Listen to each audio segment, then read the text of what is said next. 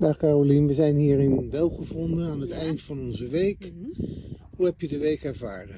Uh, ik vond het een heel fijne week, uh, een heel intensieve week wel. Hè. We hebben heel veel indrukken, heel veel uh, dingen gezien. Um, alles was heel goed geregeld, tot in de puntjes. Um, ja, het was, het was echt... ik heb ook heel veel geleerd van fotografie, heel veel dingen bijgeleerd. Um, ja, voilà. Het was, en wat is je meest bijzondere herinnering die je mee naar huis neemt? de, de leeuwen die met de hyena um, aan het uh, vechten waren over een prooi. Dat vond ik wel echt heel mooi om in dat moment te zijn en dat allemaal te kunnen meemaken.